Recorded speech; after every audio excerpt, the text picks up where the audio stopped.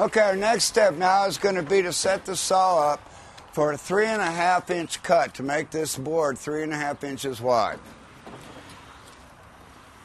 Same with my tape measures, three and a half inches from the fence to the inside of the blade, and we'll go ahead and rip the board right now.